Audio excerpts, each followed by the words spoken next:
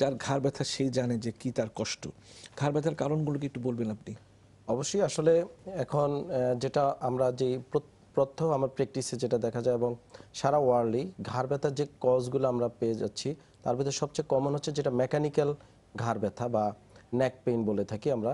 সেটা হচ্ছে আপনার যে কারণটা হয় যে আমাদের প্রত্যেকটা মানুষের কাজের যদি ভুলবশত কোনো অ্যাক্টিভিটি অথবা continuous any type of activity such as কেউ যদি ডেস্ক জব করে সামনে ঝুঁকে ঘণ্টার পর ঘণ্টা লেখাপড়া বা তার ডেস্কে বিভিন্ন কাজ বা কম্পিউটিং কম্পিউটারে কাজ করছে। হ্যাঁ, তা থেকে ঘাড়ে আহ, সমস্যা হচ্ছে এবং এটাকে আমরা যেটা আরও খুব সহজে বলতে বলা যায় হচ্ছে ডিক্স প্রোলাপস বা সার্ভাইকাল ডিক্স প্রোলাপস বা স্লিপ ডিক্স বলে থাকি।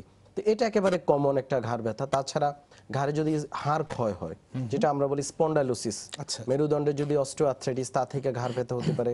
তারপরে ঘাড়ে যদি কোনো ইনজুরি হয় তা থেকে হতে পারে। অনেক সময় দেখা যায় অনেকে সেলুনে বিভিন্ন ম্যাসেজ করে ঘাড়ে বা বাচ্চাদের দিয়ে ঘাড়ে বিভিন্ন ম্যাসেজ করে বা টিপানো যেটাকে বলে। টিপানো যেটা বলে হ্যাঁ তা থেকে কিন্তু ইনজুরি হয়। প্রায় প্রায় আমি প্র্যাকটিসে পেয়ে থাকি এই জাতীয় রোগী। বেশিরভাগই আমাদের আসলে পেশাগত কারণে হয়ে থাকে। আবার এটা আপনি খুব একটা কথা খুবই গুরুত্বপূর্ণ কথা বলেছেন যে এই যে সেলুনে গিয়ে এখন অবশ্য এসে অনেক প্রচলন আছে কিনা যায় না। ওই ঘাড় একেবারে এইভাবে ঘুরিয়ে দেয় এভাবে ঘুরিয়ে দেয়। তো অনেক ডিসলোকেশন হইতে পারে। এবং খুব মারাত্মক একটা ইয়ে হয়। আপনি কোমর ব্যথায় যদি কোমরে যদি ইনজুরি হয় যে পরিমাণ ক্ষতি হবে একটা মানুষের কিন্তু ঘাড় ব্যথা একটা মানুষ মারাও যেতে পারে। কারণ ঘাড়ে হচ্ছে সবচেয়ে ইম্পর্টেন্ট মাথার পরে ঘাড়। মানে সেন্ট্রাল নার্ভাস সিস্টেমের বড় একটা অংশ কিন্তু অংশ এখানে। এবং এখানে যদি কর্ডে যদি ভেঙে যায় বা কর্ড কম্প্রেশন হয় স্পেশালি যারা ফাঁস দেয় বা ফাঁসিতে মানে যারা ঝুলে তাদের কিন্তু কর্ড ভেঙে যায়। তদ্রুপ আপনি যদি যদি কোনো সেলুন বা মেসেজ পার্লারে গিয়ে ঘাড়ে কেউ কম্প্রেশন করল কর্ড ভেঙে গেলো তাহলে সাথে সাথে কিন্তু মারা যেতে পারে। আর বেশিরভাগ ক্ষেত্রে আমরা প্রায় আমি তো পঙ্গু হাসপাতালে দীর্ঘদিন ছিলাম ওখানে প্রায় আমরা রোগী পেয়ে পেতাম যেটা হচ্ছে কর্ড ইনজুরির কারণে কোয়াড্রিপেরেসিস চার হাত পা অবশ হয়ে গিয়েছে। অথবা দুই পা অবশ বা দুই হাত অবশ আর এরকম। খুবই সেনসিটিভ একটা জিনিস। এক সেন্সিটিভ একটা বিষয়। আর যেটা হচ্ছে আরও ঘাড় ব্যথার বিভিন্ন কারণে আমরা পেয়ে থাকি। যেমন যদি ঘাড়ে টিবি হয় বোন টিবি তা থেকে হতে পারে। যদি ঘাড়ে ক্যান্সার হয় মেরুদণ্ড বোনস ক্যান্সার তা থেকে ঘাড়ে ব্যথা হতে পারে। তাছাড়া হাই প্রেশার থেকেও কিন্তু হাই ঘাড় ব্যথা প্রেশার হতে পারে। সার্ভাইকেল ডিবি হতে পারে। হ্যাঁ অবশ্যই যদি ঘাড়ে হাড় বেড়ে যায় যেটা আমরা বলছি যে সার্ভাইকাল Extra হাড়। এক্সট্রা হাড় তা থেকে ঘাড় ব্যথা হতে পারে। আরেকটা কমন আমরা পেয়ে থাকি যে টেনশন হেডেক ডক্টর মানে প্রধান টেনশন নিয়ে কথা বলব। আরেকটু দর্শকের টেনশন কমিয়ে নেই।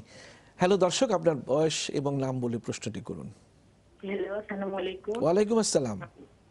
হ্যাঁ, আমি তানিয়া বলছিলাম রংপুর থেকে। জি, তানিয়া আমার বলুন। বয়স থার্টি ইয়ার্স যে আমার প্রবলেমটা হচ্ছে যে আমার প্রায়ই ঘাড় ব্যথা হয়। আচ্ছা। তো এটা যে সব সময় শোয়ার অ্যাবনর্মালিটির জন্য হয় তা না। আমি খেয়াল করে দেখছি যে কখনো কখনো শোয়ার অ্যাবনর্মালিটির জন্য হয়। আবার কখনো শোয়ার কোনো প্রবলেম থাকে না তারপরেও ঘাড় ব্যথা হয়। এবং ঘাড় ব্যথা হলে যেটা প্রবলেম হয় যে ঘাড়ে প্রচণ্ড পেন হওয়ার সাথে সাথে হাতটা শক্ত হয়ে যায়। একদম শক্ত হয়ে যায় এবং তার সাথে সাথে আমার এখন তিন চার দিন আগে এটা হলো, সাথে সাথে ডান হাতটাও একদমই শক্ত হয়ে গেল এবং ডান হাতে আমি আর পেনও ধরতে পারছিলাম না। আমি অফিসে যে সাইন করতে যেয়ে দেখি যে পেনটাও পড়ে যাচ্ছে হাত থেকে। তো সাথে সাথে হাত এবং ঘাড় শক্ত হয়ে গেল। দীর্ঘক্ষণ গরম পানি ইউজ করলাম। তারপরে মাসের রিল্যাক্সেন্ট কিছু ড্রাগ নিলাম।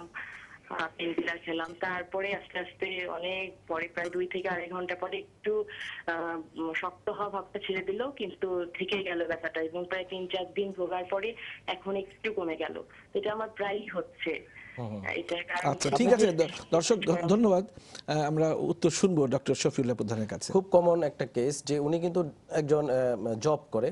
জব করার ক্ষেত্রে যেটা আমি বলছিলাম যে কম্পিউটিং একটা ফ্যাক্টর সামনে ঝুঁকে যারা ডেস্কে কাজ করে তারা একটা ফ্যাক্টর মানে এখানে হচ্ছে কাজ করবে না আমরা সেটা বলি। নেমে আসে। হ্যাঁ, ওনার হাতে রেফার্ড পেইন হয়। ওনার ঘাড়ে মানে যেটা হচ্ছে আমরা যেটা বলছি পিএলআইডি বা স্লিপ ডিস্ক এই থেকে কিন্তু ঘাড়ের এফার্ট মানে হাতের এফার্ট পেন আসে। তো দর্শক আপনার ঘাড়ের একটা এমআরআই করে দেখতে হবে। এমআরআই আপনার সম্ভবত ঘাড়ের ডিস্ক প্রলাপস আছে এবং আপনার যে কমপ্লেনটা এটা হয়তো আপনি এখন আপাতত মাসেল রিল্যাক্সিন বা গরম শেক দিয়ে হয়তো একটা কিছুটা অ্যাকিউটি স্টেজটা চলে গিয়েছে, কিন্তু আপনার কম্প্রেশন রয়ে গিয়েছে, এর থেকে আপনার আস্তে আস্তে হাতটা অবশ ভাব হয়ে যেতে পারে বা চার হাত পা অবশ হয়ে যেতে পারে। তো সেটা না করে আপনি একটা এমআরআই করে তারপরে এটা ট্রিটমেন্ট হচ্ছে কমপ্লিট হসপিটালাইজড করে ডিকম্প্রেশন করতে হবে। এখন এটা সময় লাগতো, আগে চার, ছয় সপ্তাহ লাগতো। আমরা এটা এখন দুই থেকে তিন সপ্তাহে এটা সমাধান সম্ভব। আর আপনি ডেস্কে বসার কিছু নিয়মকানুন আছে এগুলো জেনে- নেবেন। প্লাস আপনি যে বিছানায় বালিশ ইউজ করেন সেটা যেন উঁচু না হয় পাতলা নরম বালিশ ব্যবহার করেন। আর সবার আগে আপনি একটা এমআরআই করে ডিকম্প্রেশন থেরাপি করান এটা আশা করি